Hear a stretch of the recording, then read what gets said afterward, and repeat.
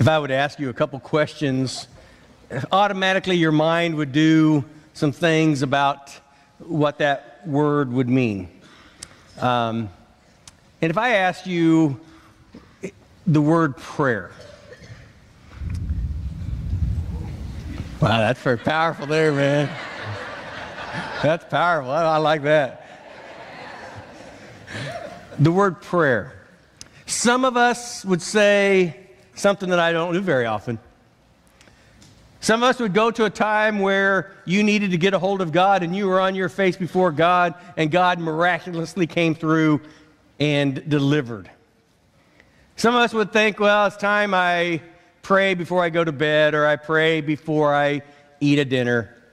But prayer, prayer has the potential to be the most powerful avenue that we have with expectancy of seeing God's work. Prayer with expectancy delivers power. The problem with prayer is sometimes we do not expect the prayer that we offer to have any power behind it, so it's idle words out of our mouth, and it becomes a duty that we do, and it's not a delight that we look forward to. Prayer. The expectancy of prayer should be powerful. When we get on our knees before God and we communicate to Him, why? Why? Because we know that God is the only one that can deliver what I need. God, the Almighty, powerful God that loves me, wants to talk to me. And it makes no difference how long you've been a believer. Whether you've been a believer for five days or 50 years, prayer sometimes can have a crippling effect on our spiritual condition. Sure, we come to church and we can do the corporate prayers and we can have somebody pray up here and we can say amen. But I believe what God truly wants for us is each and every one of his children to have a heart full of expectancy that he loves them and wants to deliver something for him. And that's what I believe we have. So, why don't we pray? I wish I could say that my prayer life is defined by constant prayer, with audacious prayers and the power of God. But I am just like you. There's times that I'm tired, and there's times that I get lazy, and there's times that I get busy and I put what the most important thing is off to the back burner till tomorrow. I struggle with slowing down long enough to pray and finding a quiet place and just enough time that I can quiet my spirit. And then sometimes when I pray, I just pray sometimes words to make people feel like I'm praying for them, but they're not words with expectancy within my soul. I struggle with being consistent and fervent in my prayer.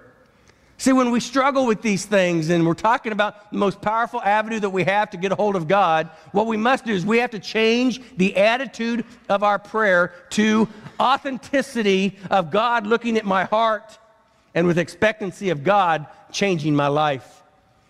If we do not believe God can change, what we're doing is we're just wasting some time on our knees before God.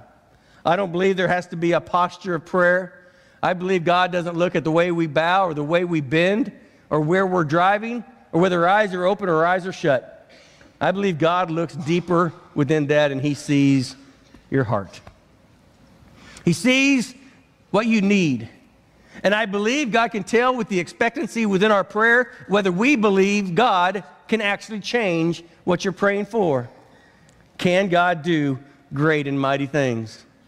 You know, there's a scripture found in Matthew chapter 6, verses 6 and 7. It says, And when you pray, do not heap up empty phrases as the Gentiles do, for they think that they will be heard for their many words. Just praying long, devout prayers in the synagogues or out on the streets, or when you're praying and you pray for 20 minutes. And I don't believe God thinks you're more spiritual when you pray longer. And I don't think God thinks you're not spiritual when you pray shorter. I think what God wants to do is, I think God wants to see your heart and understand that you truly love Him. Prayer is simply a conversation with God that is defined by faith it's a humble act of taking natural concerns to a supernatural God.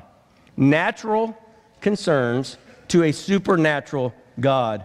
When we look at that We understand that God wants to have a relationship with us, and we need to have that expectancy with Him and for Him. We can always pray with expectancy because God always hears and answers. Our prayer, it, it, it may not be a yes, but it'll always be best, whether we understand it or not. Now, I found this quote from Tim Keller, and I thought this quote was wonderful. I want to say it twice. So grab this quote God will either give you what we ask, or he will give you what we would have asked if we know everything he knows. Is that true?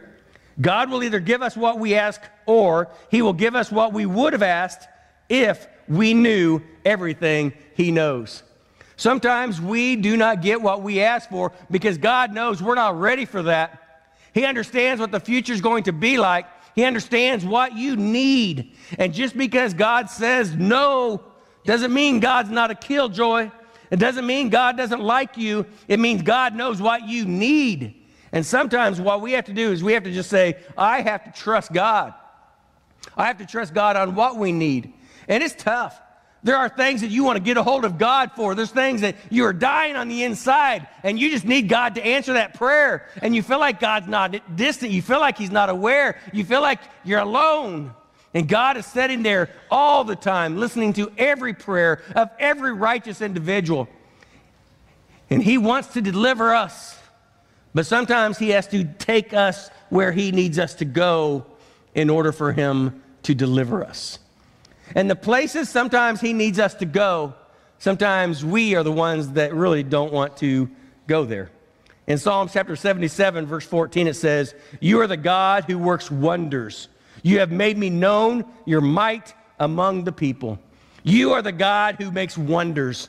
You are the God that can change the world. You are the God that can take my life and let it change whoever I am to whoever you want me to be. All I have to do is I have to back off and let God do his work. One of the most important verses in the Bible is Ephesians chapter 3 verse 20. Now to him who is able to do far more abundantly than we could ask or think according to the power at work within us. I think we have to team up the two words prayer and power.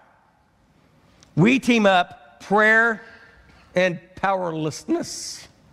We team up prayer and sleeping boring, time consuming.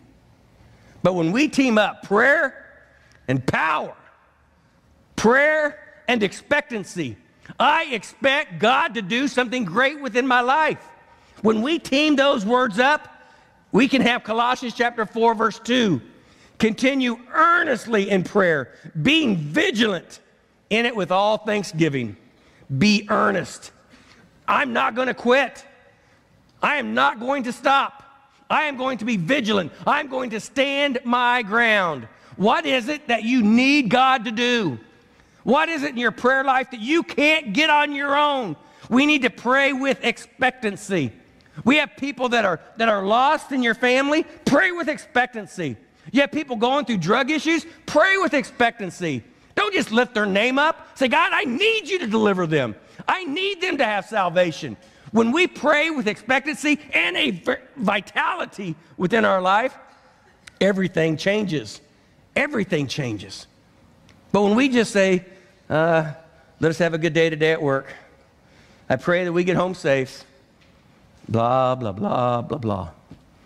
God wants us to pray with a fervent heart. God wants us to pray with some real conviction within our life. Prayer is a concern, a, a more concerned that we can handle ourselves. And we want to give that concern to a supernatural God that what we cannot do, He is expecting us to do. He's delivering us out of issues. When we have issues within our life, pray with expectancy, with power of God, that He will deliver everything that we cannot.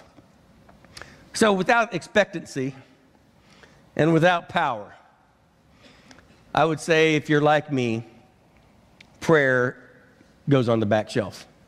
Let's say, how many of you guys struggle with prayer? Let's just be honest. I'm your pastor. I struggle with prayer. Um, I don't want to. I pray all the time, but I still struggle with prayer. I struggle with prayer, not that the words that come out of my mouth, but the heart that the words come out of my mouth with. When I go to hospital bed, I, I'm concerned about that person that's laying in that bed. I'll kneel beside that bed and I'll pray for them with all the conviction I have. And I love that person and I want the best for that person.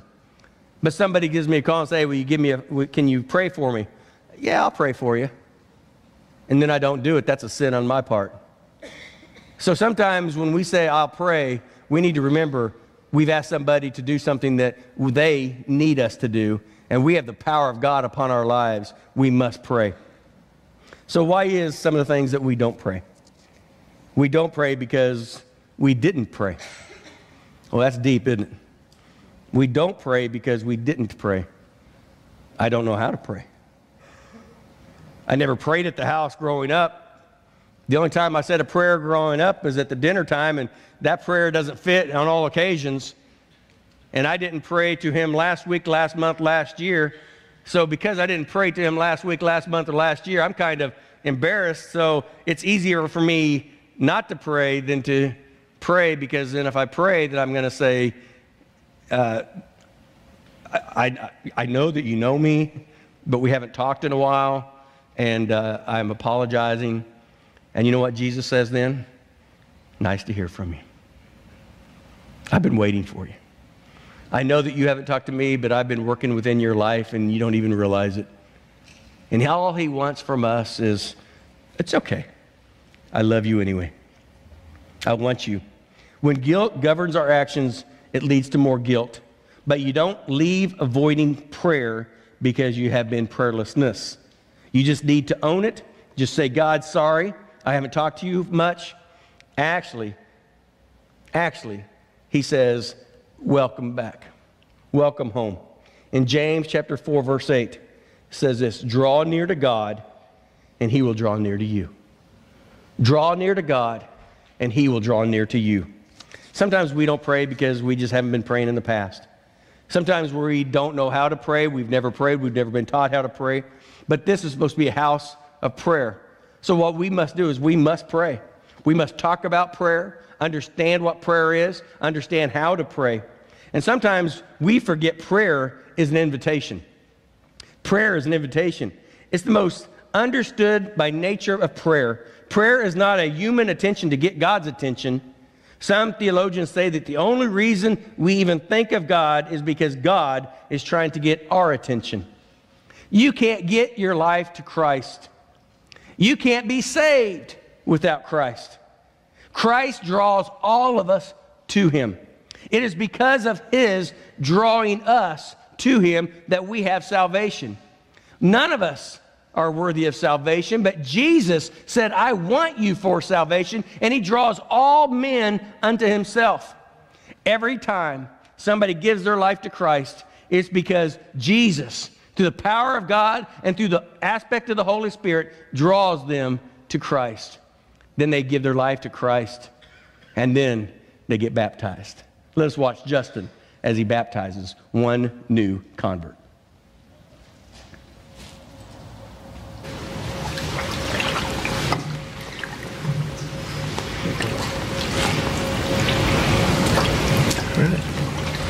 Well, here uh, we have our sister in Christ, uh, Alyssa Johnson. And so, before her family and friends and everyone here at Glenville, uh, Alyssa, my sister, do you believe that Jesus Christ is your Savior and your Lord? I do. You do. And today you'd like to identify with Him in believer's baptism? I do. All right. All right. So, because of that, it is my privilege to baptize you, my sister, in the name of the Father, the Son, and the Holy Spirit, buried in the likeness of his death, raised to walk in the newness of life. Amen.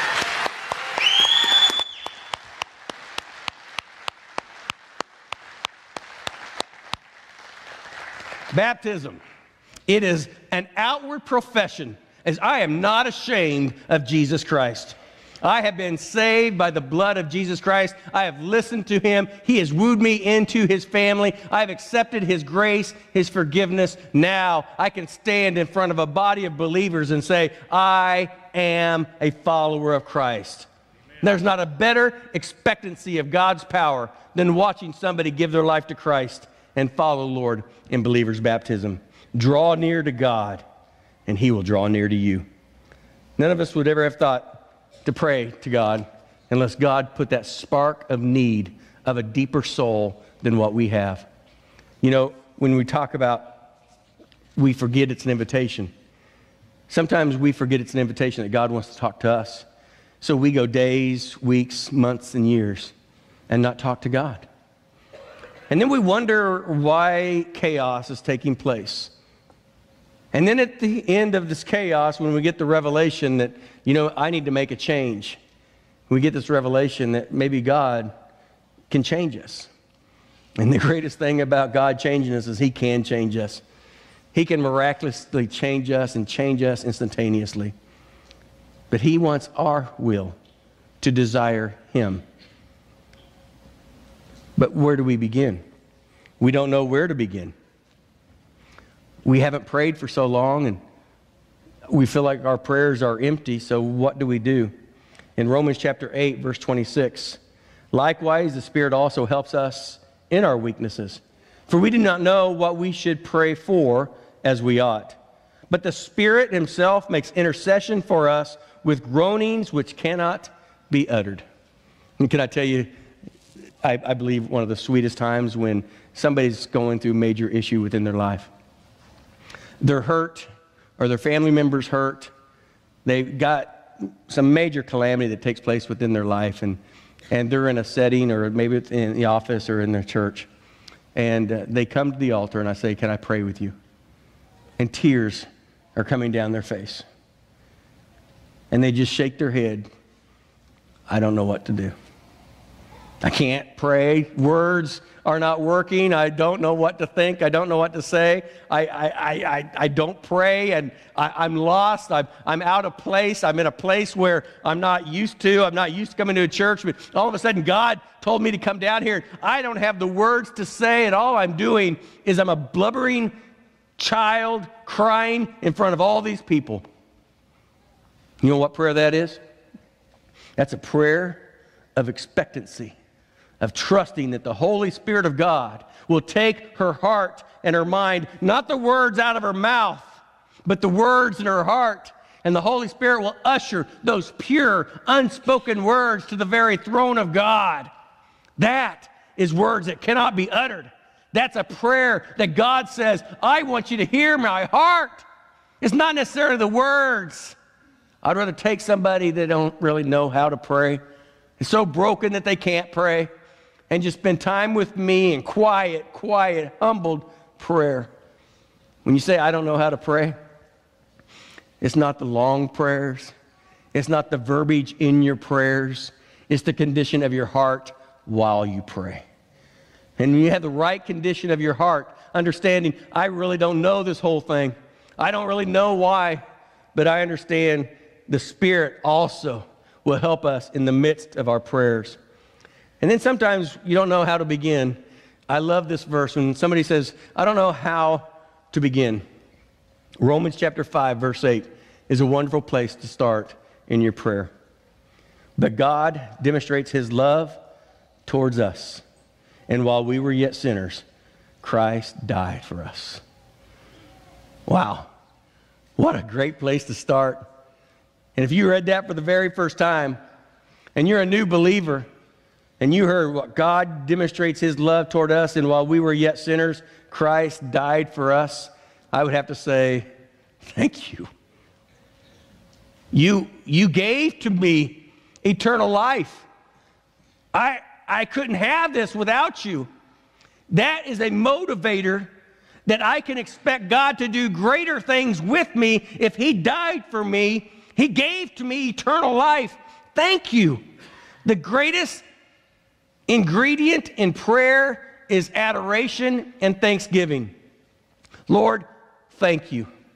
Lord, thank you for taking care of me because I know you know if you take care of this issue, I can take care of that issue. I'm going to give every issue to you It was humble adoration. But God demonstrates his love toward us while we were yet sinners.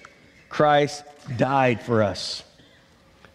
And then the fourth is we don't want to have self acknowledgement in our prayer or be self aware, if you would say it that way. If you have um, shoes on that you don't want to get stepped on, you might want to raise your feet up a little bit. Proud people have a hard time with prayer. Proud people think, I don't need God. Proud people say, I've got this one on my own. When we don't pray, what we are saying, I don't need God. And when we say, I don't need God, God, the heart of God is broken. I believe when we say we don't need God, we are too proud and we look down on people and we never look up at God and we never see God because we're so busy looking at ourselves and looking at other people and judging and criticizing others, we cannot see God's hand working. And as long as we are criticizing negativity and proud, we will never ask God to work within our life. We need to be self aware. And the only way that we can be self aware is understand that I need God. I don't just want God. I don't want the Christianity part of Christ. I need God. I don't want to just come to church and, and do my duty and, and do everything that God tells me I have to do and go home and, okay, I put my time in. Prayer, with the expectancy of prayer, is the power of God. When we are humbled, we can ask God, and then God will break us. He'll break us to a point that He will see within us so He can show us where we have failed. See, pride people, prideful people have a hard time with self evaluation. Oh, I, I can tell you what you're doing wrong, and somebody could tell everybody else what you're doing wrong. But sometimes, looking at myself, I'm pretty good if you're the judge. But if God's the judge, I don't measure up quite as well. But when we look at what God truly wants for us, we see God's hand within our life. I like it what Isaiah said. Isaiah said something in Isaiah chapter 6, verse 5. When Isaiah was praying to God, the first thing that he said was, Woe is me. Listen to this, verse 5. So I said, Woe is me, for I am undone, because I am a man of unclean lips, and I dwell in the midst of people with unclean lips. For my eyes have seen the King, the Lord of hosts, uh, so holy he is. I am a man of unclean lips. When you pray and you sense who God is, you don't look at God and say, Oh, how awesome you are. The first thing that we do is fall on our face and say, How loathsome I am. Moses, Isaiah looked at that and he said, He said, I, I'm not worthy. I'm not worthy to even look in the face of God. I am a man of unclean lips. I'm a man that should not even talk to God, but God loves us he forgives us, and He wants to move on. So right away, he senses the sin within his life. A brighter light will always, always, always show us our sin. And that bright light is God's word, and that bright light is God's prayer. It's a way we don't pray. It's why we don't pray, because sometimes we do not want God to show us what we're doing wrong. There's times in our life when we go to church or we go to events or, or maybe even just in our family time where the enlightenment of God's Word has, has brought to us our attention of a sin or an attitude or an issue within our life. And when that sin is brought to light, what do you do with it? Let's throw a couple out there. What happens when we find out, we, this is a new revelation, but what happens when we find out that we are a gossip? That we're talking about somebody that really shouldn't be talked about? None of their business, none of your business. But somebody confronts you on that. What do you do with that? Ah, I'm not hurting anybody. The Bible calls it sin. If it's sin, it's sin. And you uh, know it's sin. What do we do with that? What about being rude? What about getting mad? What about having issues within your life that's contrary to God's word and you find out it's wrong? When sin is exposed to the light, what God has asked us to do to be holy, is to give that sin to Him that He's already died for. And as we offer that sin to God that He's already died for, then He takes that sin and He says, This, I have forgiven you. I love you unconditionally. I am going to ask you to work on those issues, give you tools to work on those issues. When you know it is sin, stop it. We need to change our attitude to change our life. Prayer is humbling. Prayer is hard, but prayer can change you. We have worked too hard to stop now. When you think about prayer, I want to change the way that we think about prayer. Prayer with expectancy delivers power, not words out of our mouth. Why are we praying? What is the purpose behind this prayer?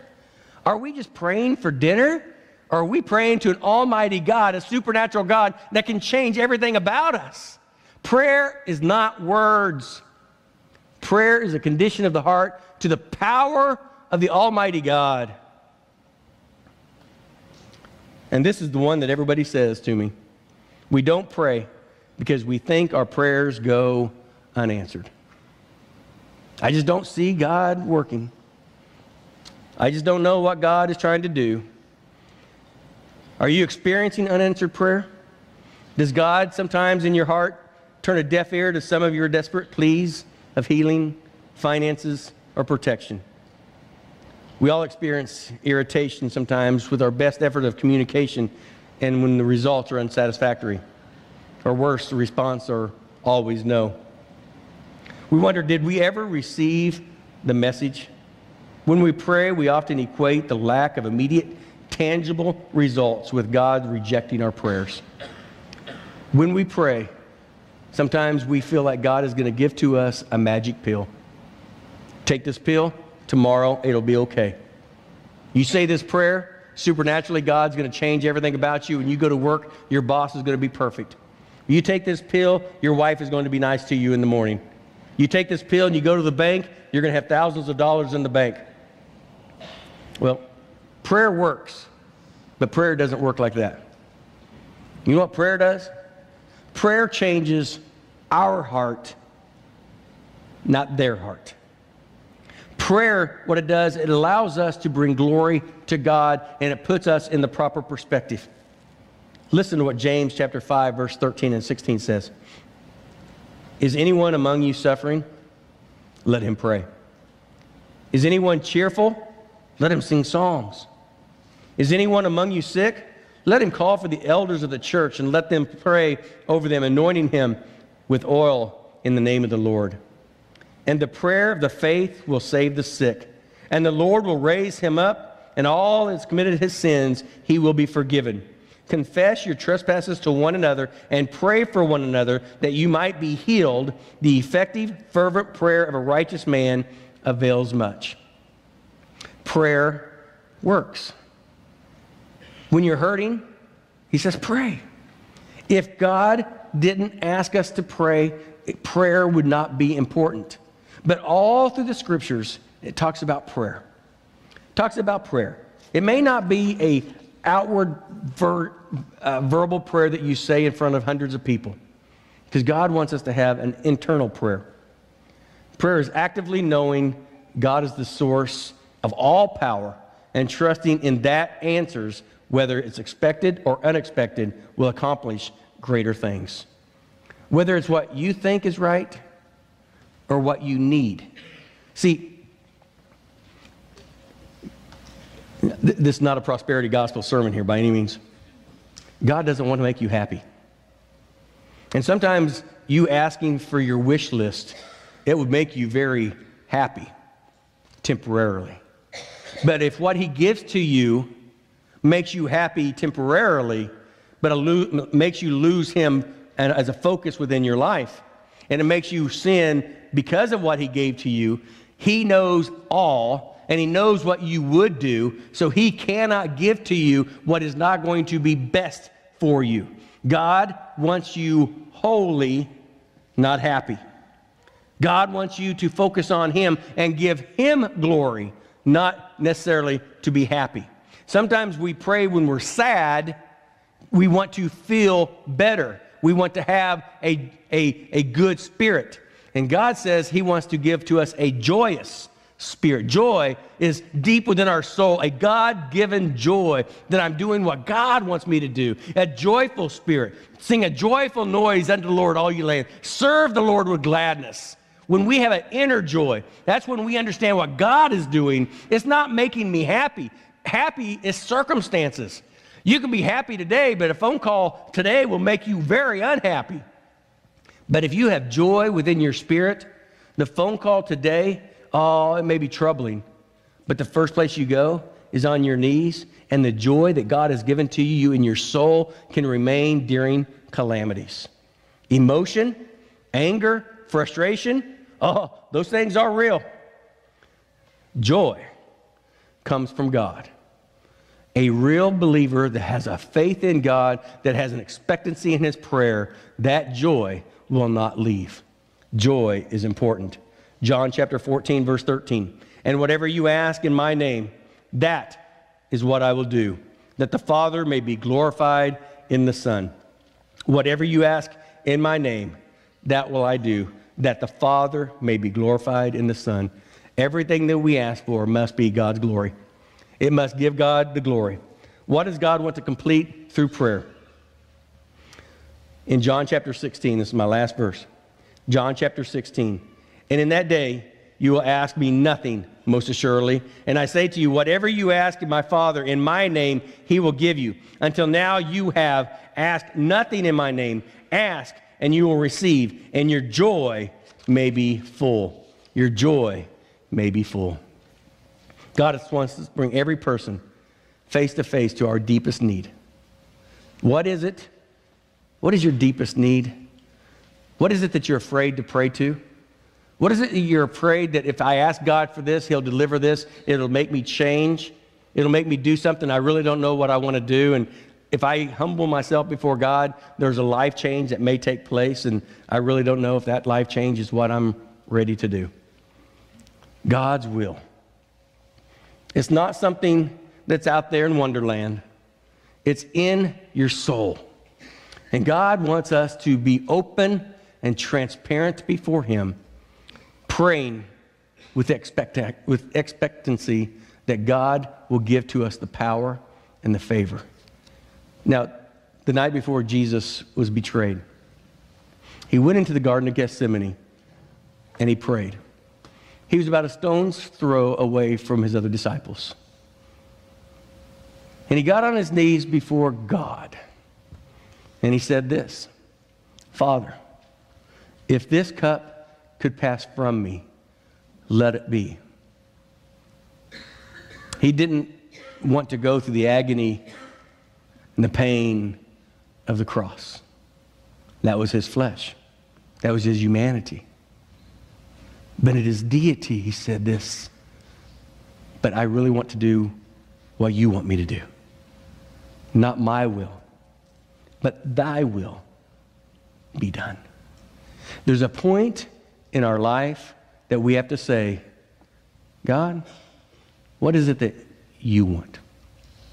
What path do you want me to take? What decisions do I need to reevaluate? What life lessons do I need to say? It's not about me, it's about Him. It's not about your will, it's about His will. And when we get to the point that Jesus talked to the Father, the same day we talk to the Father, what is it, Lord, that you want me to do? And then we take God's word, His word, and we apply God's word to our prayer. God cannot bless anything that goes against his word. He can't. Because God's word is absolute truth. So when we say, Lord, I want, I need, I think, but it's against God's word, God is saying, uh, your, your self evaluation is not on target. Why don't we look to what the Bible says and then pray as God would give you glory, and then God could answer your biggest needs? God's will, not thy will. How do we know God's will? God's Word. So, the two biggest aspects of our Christian faith is our prayer with, expect- with expectancy. Pray that He will take care of it, love it, and give us power. And then know the Word of God because those two go hand in hand. So, my challenge is very simple. Why don't we pray? Why don't you pray? Oh, we go through the motions.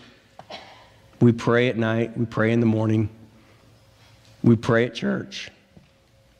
All those outward prayers are fine. You know what he really wants? He wants a quiet, simple, alone time with you and him. No distractions, nobody else there. Whether you're driving down the road or whether you're laying in the bed, whether you kneel beside the bed or whether you're doing something. It's just focus, me and Him. Being self aware of, Lord, what is it that I'm doing that's keeping me from doing what you want me to do? Be honest. Prayer is brutal on pride people, but it's awesome on righteous people that say, I just want you to work within my life. And when we break the pride down and we listen to God and we can open up our heart, He can give us the very desires of our hearts. Because His will is the main purpose within your life. Now, how can I say that? Well, if you're a believer in Jesus, if you've given your life to Christ, you've bowed your knee before Him and, and even been into the baptismal waters, you're not your own. You've been bought through the blood of Jesus Christ. You are a child of God. You have no right to yourself. You are His. You have a right to be an ambassador to Jesus Christ. An ambassador means you speak for Christ, you don't speak for yourself. If you're a child of God, you've been bought by the blood of Jesus Christ. Your salvation is secure, your eternity is secure, and ha- salvation is given to you, and eternity is yours. That is a believer. If you're not a believer, you can pray all you want. The first prayer that God's going to hear from you is salvation. And if you've never given your heart to Christ, you've never offered up a prayer, pray to uh, God today and ask God to forgive you. He will wrap his arms around you and he will forgive you today and he will give to you eternity because of your sin will be forgiven and his grace will be given. And then you're a child of God. So why can't you pray? Because you're too proud. Why does God want you to pray? Because he gives grace to the humble. And he exalts the humble because what the humble does, Lord, I need you. I know what you've done for me, and I know what I can't do on my own. And he says, Pray. Pray with expectancy. Allow the power of God to work within your life. If you're a child of God and you're struggling, if you're a child of God and you have issues within your life, the first place you need to go to is on your knees before God in prayer, praying that He will change it. Let me rephrase that that He will change you in order to change it. I wish I had the bottle of magic pills in my office. Here's a magic pill, there's a magic pill, take that, and everything's gonna be great tomorrow. But you know what? Life is hard. Getting life right is even harder. Putting God where He needs to be in the middle of your spiritual life is the most powerful, most awesome thing that you could ever do. But it starts with a humble act of prayer. Taking the earth, our earthly need, taking it to a supernatural God and say, Lord, I need your help. And He says, okay, let's work on that. The greatest counselor that you could ever go to. I need your help. He says, okay, let's start working. Let's start moving. Let's start trying. Let me give you the tools in order for you to get where you need to go. And he's free. He just wants to do it for you. He wants to love you, and he wants to change you. Prayer, we all need to pray. It's not an excuse if you're a child of God not to pray. It's not an excuse to think it's all just a duty. It's what I have to do. Prayer should be a delight because your Savior asked you to talk to Him and He wants to change the circumstances that you are in. Let's go to Lord in prayer. Dear Father, we, this church, us as individuals, we need you. We need the power that you give to us. Lord, we need you to forgive us where we have failed you, where we have taken you for granted, where we have not served you, where we look at life and we say, I can do this on my own. Lord, I pray that you will break our hearts. We want to be like Isaiah and see us and see that we are, are, are broken, we, we, we are nothing, we have no power. We need God. Lord, I pray with that expectancy that we, this church, us as individuals, that we can have your power on our life. We can be so humbled before you that we can pray about everything and we know that you will wrap your arms around us, you will forgive us, you will take care of us, and there's nothing that we can say to you that you do not already know and that you have not already forgiven, so we can be honest and transparent about life. And then, Lord, give us the direction. Give us the motivation to move on in our life. And Lord, the most important decision that we can make is to accept you, to give to you our first prayer. And that first prayer is, Lord, forgive me. Forgive my past. Forgive my actions. I accept you as your Lord and Savior. Lord, forgive them. Give to them grace and mercy and peace and forgiveness, like you've extended to all of us. But there's always one that needs you. Let this day be the day that that new one becomes our family member because they pray unto you. Lord, thank you for that. In Jesus' name we do pray. Amen. In prayer, whether it's at the altar or whether it's at your chair, when somebody says well, it's a time of prayer, it is not a time to stand and wonder. It's not a time to look at somebody that came to the altar and say, I wonder what they're going through. It's a time of holy prayer that we can stand before an almighty God, close our eyes before Him. We have enough stuff in our own life that we don't need to worry about what everybody else has, right? Somebody give me an amen. amen. We have an expectancy to our prayer, a power that God wants to change us. And if there's issues within your life, if there's health issues, if there's financial issues, if there's family issues, if there's a personal issue, throne of God is the only place that can fix your life. Let us not be too proud. Let us all be humble and talking to God. And through that humility, He's going to give you grace He's going to give you power, and He's going to change everything about you when you first go to Him through prayer.